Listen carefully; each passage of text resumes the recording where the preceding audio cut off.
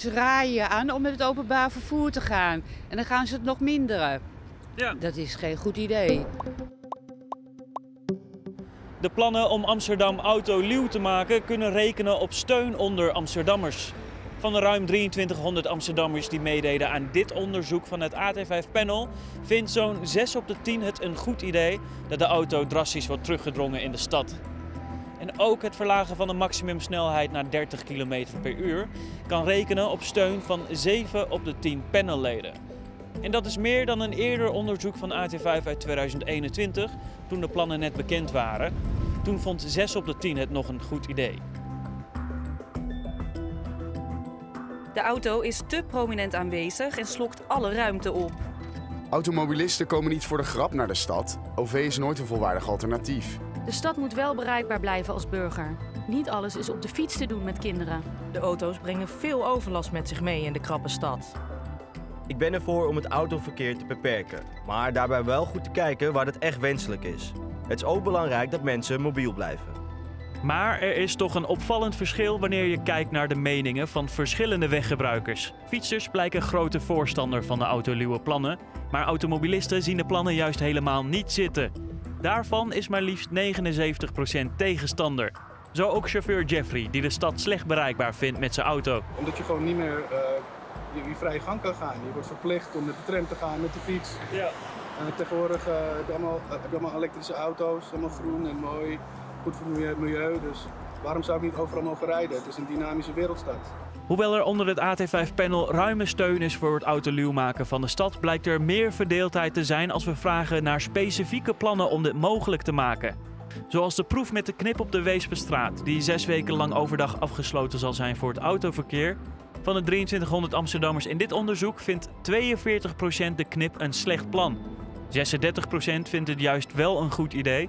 En de overige 22% heeft er nog geen mening over. Ja, ik vind het wel uh, rustig, lekker rustig geworden dan. We wonen hier echt strak op de Weesperstraat. Dus. Dat vind ik ook wel weer uh, heel extreem. Kijk, is het een dagje, twee dagen of een paar uur op een dag... Dan, kan ik, dan kunnen mensen daar nog omheen leven, maar dit kan gewoon niet. Closing the road will have an impact. A good impact and a bad impact. Uh, but I think mainly it will be good for the city. Om de stad nog meer autoluw te maken, wil verkeerswethouder Van der Horst meer doorgaande routes in de stad afsluiten voor auto's. Die afsluitingen zullen ervoor zorgen dat je niet meer gemakkelijk van wijk naar wijk kunt in Amsterdam. Volgens de wethouder moet dat voorkomen dat de stad steeds verder dichtslipt en ervoor zorgen dat er meer ruimte komt voor fietsers en openbaar vervoer. Ook over dit plan zijn de panelleden sterk verdeeld. 41% vindt het een goed plan, 45% juist slecht. Zit u met dit weer ook niet liever in de auto? nou, mijn dochter en ik zeggen altijd, we zijn niet van suiker als het regent. En dat, uh, dat is ook zo. Uh, 40% van uh, de mensen in Amsterdam heeft maar een auto. Hè? Dus het is sowieso niet iedereen gegeven om in een auto te zitten. En is het wel fijn als je een beetje veilig ergens kunt komen. Je kan je afvragen of het normaal is dat je hier helemaal midden in de stad met de auto moet rijden. Terwijl er een metrolijn onderdoor gaat. En niet iedereen, het past gewoon niet meer. Niet iedereen kan hier overheen rijden. Als je in Amsterdam kijkt, de reden dat het dichtslipt, is op de Overtoom bijvoorbeeld, is, maar, is maar één weg. Nou, de, de straat is zo breed, er kunnen makkelijk twee wegen. Wordt slipt er niet dicht. Zoals ik net ook al zei, als je tien straten hebt, je sluit er negen af, moeten alle auto's door die ene straat en dan slipt het dicht inderdaad.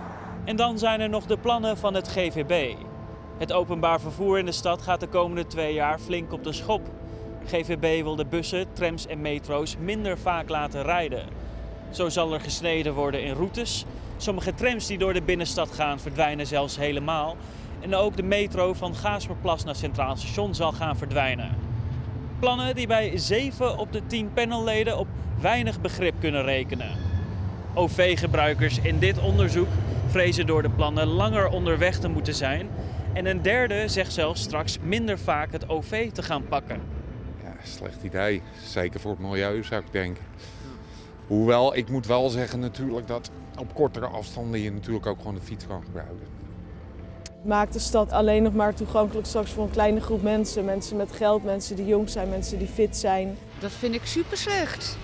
Waarom? Dat, je wilt toch met het openbaar vervoer, ze, rij, ze raaien aan om met het openbaar vervoer te gaan. En dan gaan ze het nog minderen. Ja. Dat is geen goed idee. Met deze maatregelen maak je openbaar vervoer nog minder aantrekkelijk dan het nu al is. Dit is totaal in strijd met de autoplannen. Het OV is al veel verschaald. Schandalig plan. Reistijden waren vaak al lang en zullen nu alleen maar langer worden. Het openbaar vervoer is nu al niet zo best. Duur, traag, druk en veel overstappen. Om de stad autoluw te maken is goed OV noodzakelijk. Niet iedereen kan met de fiets. Meer uitslagen en achtergronden vind je op at5.nl/panel of in de AT5-app.